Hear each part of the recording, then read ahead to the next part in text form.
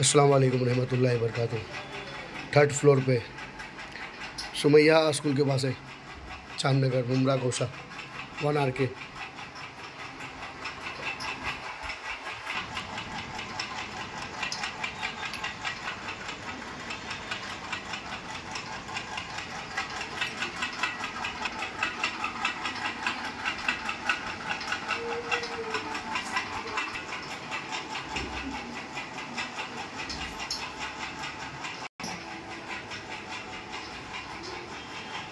पाँच सौ लीटर की टाकी है इसके अंदर।